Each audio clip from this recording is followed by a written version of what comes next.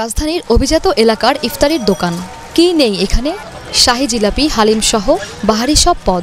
এসব ছাড়া সামর্থ্যবানদের ইফতারি যেন অসম্পূর্ণ। যারা নিয়েছে অনেক ভালো রিভিউ পেয়েছি এখান থেকে তো এখানে এসে নিয়ে প্রায় আমরাও নেই। বাড়িতেই অনেক সময় অনেক কিছু বানায়।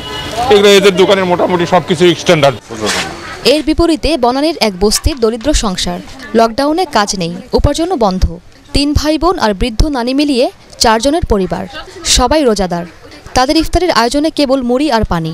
ছাত্রী হোস্টেলে রান্না করতাম আপন নিবাসে। এখন ওইটা আজকে আপনার এক বছরের উপরে হয় বন্ধ তো আমি এখন আপাতত কিছুই করি না। যদি টাকা থাকে তাহলে এই মুড়ি আর কিছু কিনে এনে তারপরে ইফতার করা হয়।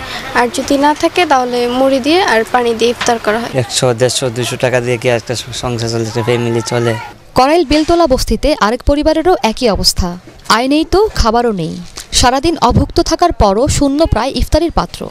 ইচ্ছে তো হয় মনে কিন্তু আমার সামর্থ্য যে কাটায় না। মা বলছে খাবার নেই তাই একবেলা খেয়েই রোজা রাখি। অথচ রমজানে এই দরিদ্রের পাশে থাকার কথা ছিল পার্শ্ববর্তী ও প্রতিবেশী বিত্তবানদের। ধর্মীয় সে শিক্ষা বাস্তবায়িত হলে লাঘব হতো নিঃস্বদের কষ্ট। কিছুটা হলেও কমে যেত ধনী দরিদ্রের পার্থক্য।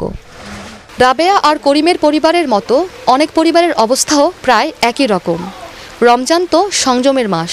এই সংযম যেন এসব অসহায় মানুষেরই জন্য।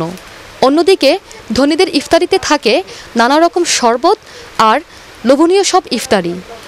এ তফাৎ যেন চোখে আঙ্গুল দিয়ে দেখিয়ে দেয় সমাজের সামর্থ্যবানরা কতটা উদার, অসহায় এসব মানুষের প্রতি। বিত্তবানরা এগিয়ে এলে ধনী দরিদ্রের এ বিশাল ব্যবধান হয়তো থাকবে না। কিছুটা খাবার জুটবে অসহায় এসব মানুষের পাতে। শারমিন রিহা এটিএন বাংলা ঢাকা